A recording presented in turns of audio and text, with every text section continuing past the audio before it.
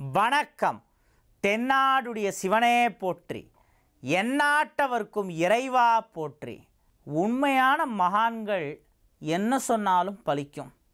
அதனால தான் பெரிய மகான்கள் எல்லாருமே ஏதாவது ஒரு வார்த்தை பேசுகிறதா இருந்தால் ஒன்றுக்கு ஆயிரம் தடவை யோசித்து பேசுவாங்க. ஆயிரத்தி தொள்ளாயிரத்தி ஐம்பது வரை பூத உடலோடு வாழ்ந்தவர் ரமண மகரிஷி சுவாமிகள். அவரை நிறைய அடியவர்கள் வந்து பார்த்தாங்க. அவருடைய தரிசனத்தை பெற்றார்கள் சென்றார்கள். இன்றைக்கும் நிறையா பேர் ரமணாசிரமத்துக்கு வந்துட்டே இருக்காங்க. அங்கே உக்காண்டாலே அப்படி ஒரு அமைதி மனசுக்கு கிடைக்கிறதுன்னு சொல்கிறாங்க அவரை ஃபாலோ பண்ணவங்க நிறையா பேர் இருந்தாலும் அவர் முகம் படவே அவரை மோசமாக பேசியவர்களும் ஒரு சில பேர் இருந்தாங்க. ஏன்னா எவ்வளவு நல்லவனாக ஒருத்தன் இருந்தாலும் அந்த நல்லவனை விமர்சனம் பண்ணுறதுக்குன்னு ஒரு கும்பல் இருக்கும்.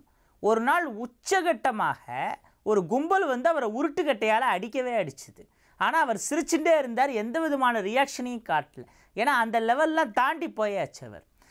ரமண மகரிஷியுடைய பக்தர்கள்லாம் அதை பார்த்து கத்தி கூச்சல் போட்டாங்க. அதுக்கப்புறம் அவங்க ஓடினாங்க. அப்போ கூட தன்னை அடிக்க வந்தவங்கள பதிலுக்கு அடிக்கணும்னு ரமண மகரிஷியோட அடியார்கள் வந்தப்போ எல்லாம் என் கர்மவினபடி தான் நடந்தது. அதனால் என்னை அடித்தவங்க யாருக்கும் நீங்கள் எந்த கெடுதலும் பண்ண வேணாம். விட்டுருங்கன்னு சொல்லி ரமண மகரிஷி அனுப்பி வச்சார். ரமண மகரிஷியே சொன்னதுனால ஒன்றும் பண்ண முடியல. அதனால அவங்களெலாம் உதவாங்காமல் முழுசாக வீடு போய் சேர்ந்தாங்க.